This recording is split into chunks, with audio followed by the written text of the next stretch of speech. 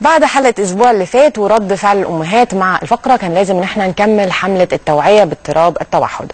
هنتكلم عن حاجات كتير جدا وعن للأسف خرافات حول موضوع التوحد التغذية الضرورية. وكمان هنتكلم عن السلوكيات المختلفة اللي الأم كمان بتواجهها مع الأطفال اللي عندهم الاضطراب السلوكي ده. الحقيقة إحنا الأسبوع اللي فات اتكلمنا عن مرض التوحد أو عن الاضطراب السلوكي اللي هو اسمه التوحد. أو من ضمن يعني الاضطرابات السلوكية. التوحد اتكلمنا عن بيبتدي من سن كام اتكلمنا عن إيه هي المراحل المختلفة اللي الام أو العيلة بتمر بيها عشان تتعامل مع آه الاضطراب السلوكي ده. واتكلمنا عن حاجات كتير قوي. النهارده هنكمل كلامنا مع آه ضيفتي اللي منوراني واللي أنا مبسوطة الحقيقة بوجودها معايا لأنها لبت دعوتنا للفترة اللي جاية دي دي كلها وهي الدكتورة ولاء نبيل استشاري نفسي وأخصائي سلوكيات. يا دكتور مساء الخير. أخبارك إيه؟ بشكرك إن أنت بتفضي نفسك طبعا وبتنورينا في عسل أبيض عشان يعني شهر التوعية ب يعني ده أنا اللي أشكركم إن في الوعي ده عندكم وفي حب توصيل المعلومات للناس. نشكرك يا فندم جدا. ونكمل بقى كلامنا من الأسبوع اللي فات. إحنا الأسبوع اللي فات زي ما قلت للمشاهدين اتكلمنا عن مرض التوحد وإن هو بيظهر من تقريبا من سنتين لثلاث سنين. ده بدايته ما بيبقاش قبل كده. بس الأم ممكن تلاحظ بتظهر آه في الفترة دي. ممكن تلاحظ اختلاف في السلوك عند الأطفال. ومن ضمن الحاجات دي العياط مثلا الكتير مرة واحدة تخبيط الراس الحركات الرفرفة السلوكيات مش طبيعي إن إحنا نشوفها عند الأطفال. رفضه لاكل معين أو حبه لاكل معين. في بعض حاجات كده بت بتبقى مؤشر ان الطفل عنده بعض المشاكل. طيب. وبعد كده اتكلمنا عن المراحل المختلفة اللي العيلة بتمر بيها من مرحلة الصدمة لمرحلة الإنكار لمرحلة بعد كده التقبل على ما أعتقد فقدان القيمة. فقدان القيمة بالظبط وبعدين التقبل بعد كده البحث. البحث عن مظبوط كده؟ حاولت احفظه على قد ما أقدر. طيب النهارده بقى عاوزين نتكلم أو أنا عارفة ان المفروض كنا نتكلم عليه المرة اللي فاتت بس حاجة أنا أخدت بالي منها إن في ناس فاهمة الموضوع غلط. يعني في خرافات كده غريبة عن مرض التوحد إن الطفل لبسه جن وشعوذة وحاجات كده كتير قوي. للأسف. آه احكي لها لنا كده بالتفصيل. طيب إحنا أول حاجة هنتكلم فيها وأكتر خرافة منتشرة إن في أكل معين بيسبب الإصابة بالتوحد. يعني الطفل ياكله يسبب الإصابة بالتوحد. مفيش حاجة اسمها الكلام ده. آه أنا يا عندي توحد يا ما عنديش. مم. يعني مش الطفل بيتولد وده في كل الخرافات اللي هنتكلم فيها أو ده في كل الآراء اللي الناس بتتكلم فيها. بيتولد عنده توحد. مم. مش بيتولد وبعدين يجي له توحد. بيظهر في سن متأخر. بيظهر في سن معين. ممكن يكون متأخر ممكن يكون بدري ممكن تكون الأسرة ما عندهاش الإدراك الكافي. آه على حسب كل حالة وبيبقى ليها الظرف بتاعها أو ليها ظروفها. ففي ناس تقول لك لا أنا ابني كان كويس جدا بس أكل قمح حاجة فيها قمح حاجة فيها لبن فجاله جاله توحد لا هو كان عنده البوادر أو, أو الأساس. ممكن الأكل اللي أكله سواء بقى حاجة فيها سكريات ظهرت الأعراض بدري. مم. أو يعني فقمت من الحالة خلت خلت الموضوع يبقى صعب شوية. آه طبعا عشان معروف إن السكريات بتدي طاقة عالية طاقة ممكن تساعد. لما يكون مثلا بيخبط دماغه في الحيط فيخبطها أكتر. بالزبط. لكن مش هي دي الأساس يعني. في حاجة تانية. آه الطفل ممكن ياخد تطعيم معين تقول الأم تيجي تقول لي هو كان كويس جدا. بعد ما اخذ التطعيم جاله التوحد. لا ده مش صح نفس الفكرة آه إحنا كناس عاديين أو كأطفال عاديين آه لما بتاخدي دواء معين ممكن بيعمل معاكي الافكت المطلوب مم. الطفل التوحد الموضوع معاه مختلف تماما مم. تفاعلات جسمه مختلفة عن التفاعلات الجسم العادي فعلا. فممكن يتفاعل مع أي دواء مع أي أكل مع أي أي مادة بتدخل الجسم فبتسبب حدة للأعراض مم. فبرضه هو مش عشان اخذ التطعيم جاله توحد لا هو بس زيادة في الأعراض مش زيادة في الأعراض أو الأعراض ظهرت بصورة شديده شوية. طيب إحنا معانا رحاب على التليفون. يا رحاب مساء الخير. ألو؟ مساء النور يا فندم. أخبارك إيه ازيك يا دكتورة؟ ازيك يا حبيبتي. ألو السلام عليكم وعليكم السلام. سامعينك يا رحاب اتفضلي. أيوه يا فندم سامعة حضرتك. أه بقول لحضرتك أنا ابني آه آه مع هو مش عارفة هو ما عندوش توحد بس أنا رحت كشفت فيه كشفت بيه عند معهد السمع والكلام ولفيت ديك عند كذا حد قال لي إن هو عنده آه آه تأخر لغوي. هو دلوقتي عنده ثلاث آه هو عنده دلوقتي ثلاث سنين وثمان شهور. طب إيه الأعراض اللي, اللي يعني خلتك تروحي بيه للدكتور؟ آه، هو م- ي- يعني هو كلامه يعني قليل ماشي؟ آه، مش زي أخته. أنا أخته عندها آه، دلوقتي خمس سنين أهي بس كانت في سنه كانت مسابقات مراحل ماشي؟ يعني هو متأخر في الكلام مش كل حاجة بيقولها. هو طبعا ده طبيعي لأن البنت نضجها العصبي أسرع من الولد. فهتلاقي إن الموضوع عند البنات مختلف شوية عن عن الولاد. طب في أعراض تانية؟ في أعراض تانية. لا هو عادي طبيعي جدا بياكل بيشرب آه، بيطلب الأكل كل حاجة مفيش مشاكل. طيب نشكرك يا رحاب على تليفونك والدكتور هترد عليكي حالا. هو طبعا طالما في تأخر لغوي يبقى الولد محتاج برنامج معين للتخاطب يمشي عليه فترة. مم. على حسب الحالة بيبقى مثلا من 3 ل 6 شهور ممكن يكرروا بعد كده. بس ال- الموضوع ملوش بقى هنا علاقة بالتوحد ده هنا يعني الموضوع بيبقى حاجة عارضة وبعدين بتنتهي. يمكن قلقت عشان أي حاجة في أطفالنا لما. بنحس بيها طبعا بنحس إن إحنا لازم نجري على كل الدكاترة. لا وهي كويس إنها يعني بدأت في ال- في السن البدري ده توديه علشان ياخد الجلسات وال- والموضوع يعدي إن شاء الله. طب إحنا معانا أستاذ مروان. يا أستاذ مروان مساء الخير. السلام عليكم. وعليكم السلام ورحمة الله وبركاته. ازي حضرتك يا فندم؟ الحمد لله. يمكن حضرتك بتتكلموا يعني عن ال- اضطراب التوحد وأعراضه.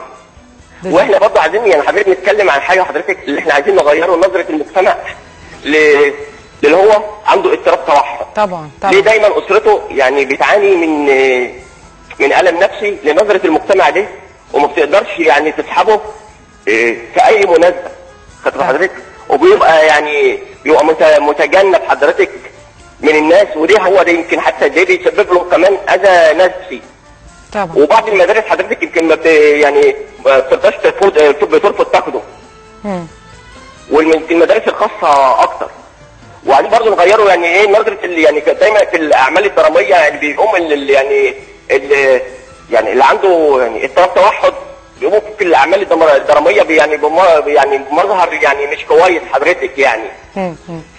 وكل الحاجات دي كلها حضرتك يعني تتراعى هي- والإعلام يعني هي فعلاً فكرة- كتير يعني له دور كبير قوي الإعلام في ال- في الموضوع ده. أكيد أكيد. هو ده اللي إحنا هنتكلم عليه يا أستاذ مروان. فعلا موضوع نظرة ال- المجتمع للي عنده اضطراب سلوكي أو آه، التوحد. وهنرد على حضرتك بعد بس ما نطلع فاصل بس أذنك يا دكتور. أوكي اتفضل. مشاهدينا الأعزاء فاصل سريع ونرجع لكم على طول. تابعونا.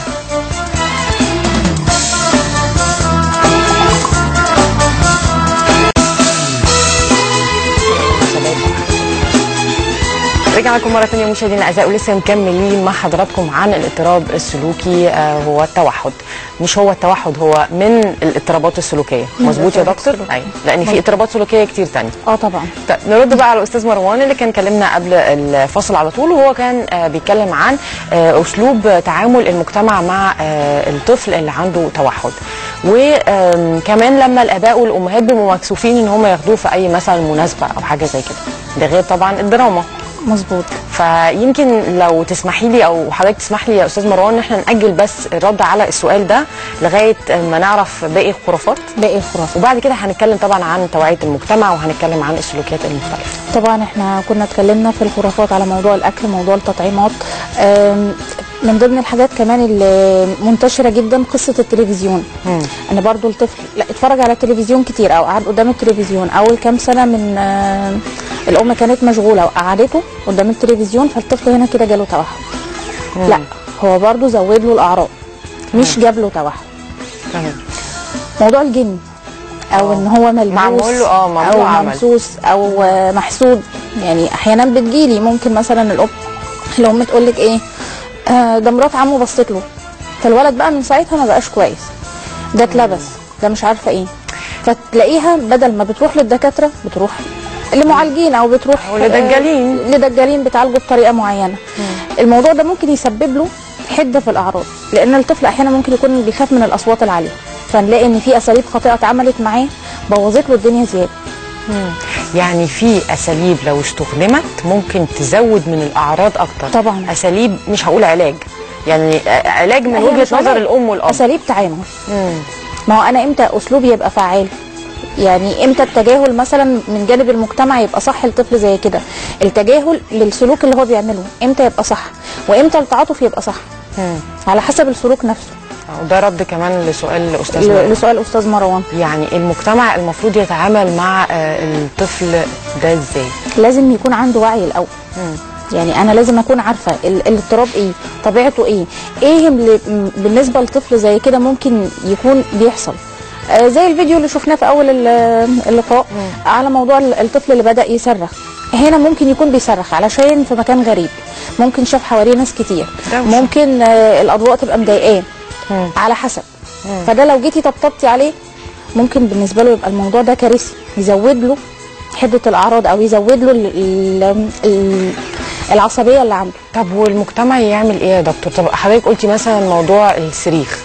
يعني هل ناخدها سلوك سلوك ولا نتكلم بشكل عام؟ يعني بعد ما المجتمع يعرف أو يعني يبقى فيه توعية إن الطفل ده عارف يعني إيه توحد عارف إن في سلوكيات مختلفة أو الحاجات دي كلها. أنا مثلا كمشاهد أو كبني آدم ماشي في الشارع ولقيت سلوكه من طفل مثلا مختلف زي الصريخ أنا أتعامل معاه إزاي؟ أتجاهله وأمشي؟ ولا آه، أساعد الأم مثلا في إن أنا أهديه ولا أعمل إيه؟ هو أنا يعني ممكن أتكلم مع الأم. لو محتاجة مساعدة بقدم المساعدة.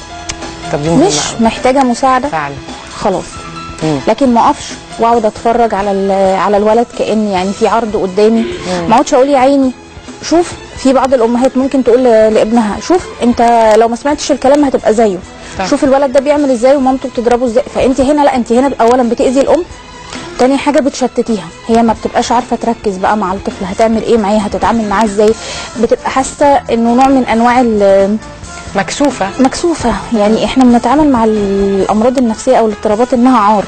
للأسف والله لا إحنا كلنا عندنا مشاكل نفسية. فنلاقيها لو بدل مثلا ما إحنا كلنا بتاخدوا عندنا مكان. مشاكل بس في حاجات بتبان وفي حاجات ما بتبانش يعني بالظبط فبنلاقي الأم بدل ما بتاخده مكان المفروض إن هو بيفيده نلاقيها عزلته بدل ما أنا نزلت بيه مثلا السوبر ماركت أو نزلت بيه أي مكان لا خلاص خليه في البيت أحسن وده بيزود الأعراض ده كمان طبعا هيزود له. الأعراض وهيحرمه من فرص كتير في التعلم لأن برضو من ضمن الخرافات حوالين مرض التوحد إن طفل التوحد غبي مم. أو معدي أو آه، مش هنقول غبي عنده تأخر عقلي.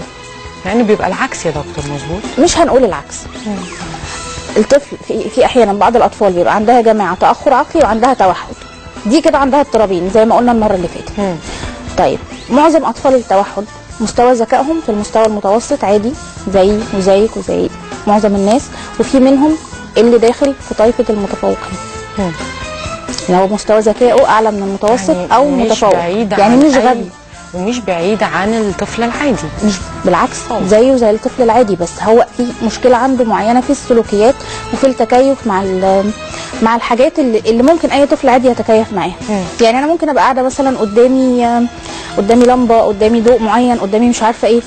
أنا كطفل عادي أو كطفل ما عنديش مشكلة الموضوع ده مش مضايقني.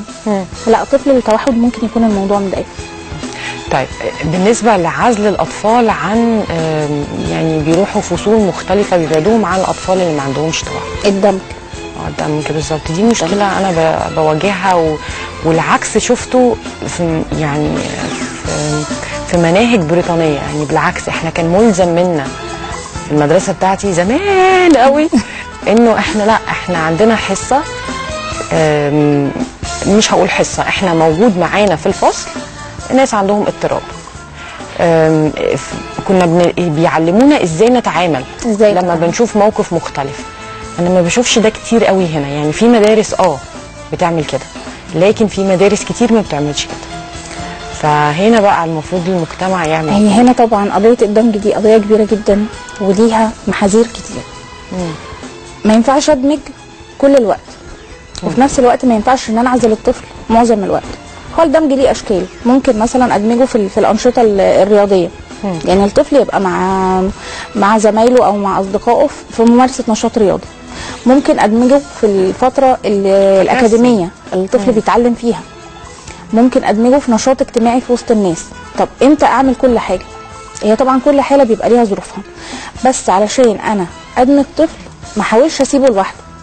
لأن طبعا هو مش هيعرف يتعامل. لازم يبقى في لازم يبقى في حاجة اسمها. أخصائي دمج أو مدرس دعم أو أو على حسب المسميات. ده بيساعد الطفل على الاندماج على الاندماج في المجتمع لفترة معينة. وبعد كده بيبدأ يسحب نفسه تدريجيا لما بيلاقي إن أمور الطفل استقرت وقادر يتعامل بقى من غير من غير وسيط مع اللي حواليه سواء مدرسين سواء أطفال في نفس سنه سواء أي حاجة. فبيبدأ إن هو بعد كده يسحب نفسه تدريجيا والطفل بيتعامل عادي. هل السلوك ده بيتعافى منه الطفل؟ أو الاضطراب ده بيتم علاجه ولا لأ؟ السلوك ولا الاضطراب؟ آه دي نقطة مهمة لأن. دي حاجة ودي حاجة. أيوه فهمينا الأول الفرق وبعد كده إيه اللي بيتم علاجه. هو الاضطراب آه، دائم. مم. السلوكيات ما بتبقاش دائمة بتبقى متغيره. فأي حد بيجي يشتغل على تأهيل سلوك أو علاج سلوك. ادينا مثل كده يا دكتور. يعني, يعني مثلا لو هنتكلم على قصة في سلوك معين عند طفل ال- التوحد إنه بيعض نفسه. ده مش سلوك دائم. أنا ممكن مع العلاج السلوكي للطفل السلوك يبقى خلاص كده اتغير أو اتعالج تماما. يا إما بقى بعمل له بديل يا إما ال- السلوك بينتهي تماما على حسب. تمام. فهنا كده لا السلوك ما يبقاش دائم. الاضطراب نفسه هي, هي اللي دائمة لكن الأعراض أو السلوكيات متغيرة. ممكن السلوك ده يختلف من حاجة لحاجة لكن يفضل فيه اضطراب في السلوك. بالظبط. لكن بأشكال مختلفه بأشكال مختلفة. وبنسب متفاوتة على حسب التدخل مع الطفل وعلى حسب برضو أنا بتعامل معاه إزاي.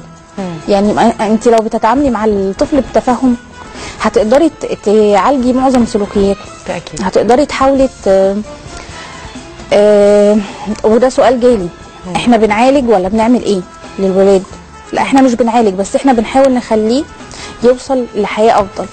ده يقدر إن هو مثلا يراعي نفسه يتعلم كويس. في حاجات معينة بنعملها مع يتواصل بشكل أحسن ممكن يكون ما بيتواصلش كويس. يعني احتياجاته يقدر إن هو يلبيها. طيب دور المعالج هنا دور مهم جدا لأن هو بيمتص المعالجين. المعالجين بالظبط. ال ال ال الأم خوف الأم على خوف الأب على نظرة المجتمع على الطفل اللي هو الأساس في كل حاجة اللي محتاج كل الاهتمام. المفروض يبقى عنده إيه المقومات المفروض تبقى موجودة عند المعالج؟ خلينا نقول النفسي في الأول. إحنا ليه بقى قلنا معالجين؟ الطبي ده آه. أو ليه قلنا معالج؟ مم. لأن كل اضطراب عند الطفل بيبقى ليه حد متخصص فيه. فعلا. يعني ممكن الطفل يكون عنده مشاكل في اللغة فده هيبقى محتاج تخاطب. حد تخاطب. ممكن تبقى مشاكل سلوكية هيبقى محتاج حد نفسي. ممكن تبقى مشاكل مثلا في ال- في المهارات فيبقى محتاج حد بتاع تنمية مهارات. فكل واحد بيبقى ليه التخصص بتاعه. طيب إيه السمات الأساسية اللي تبقى متوفرة بقى في الجميع أول حاجة طبعا موضوع المعرفة أو العلم. أعرف منين أنا؟ دايما من الكتب الكتب موجودة والنت موجود وكل المعلومات متاحة. ما ينفعش إن أنا كمعالج آجي أدي رأي للأم أو أجي- آجي أديها خرافة تيجي تقول لي أصل مستر فلان قال لي إن الولد خف كده خلاص. آه، أصل قال لي مش عارفة إن ال- الولد ال- السبب اللي خلى عنده كده حاجة مثلا معينة التلفزيون. اقفلي التلفزيون وهو هيبقى كويس. أنا بسمع آراء. بصراحة يعني غريبة جدا. كل واحد يركز في الحتة بتاعته. دي أهم حاجة. كل واحد يكون عنده الأمانة في نقل المعلومة. يعني أنا ما ما احاولش إن أنا اخترع وخلاص. ما أقولش رأي.